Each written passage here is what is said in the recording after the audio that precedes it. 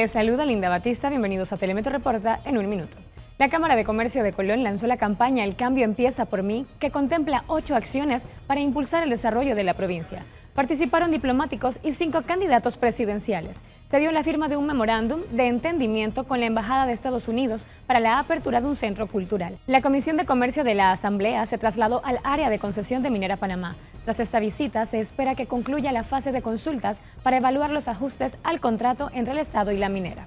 Los presidentes de Panamá y Colombia, Laurentino Cortizo y Gustavo Petro, se reunieron este martes en Nueva York. Acordaron activar la Comisión de Buena Vecindad, con la cual se busca dar seguimiento y articular esfuerzos en la zona fronteriza respecto a la crisis migratoria. También se abordó sobre el avance de interconexión eléctrica entre Panamá y Colombia. Este fue el resumen informativo, será hasta la próxima.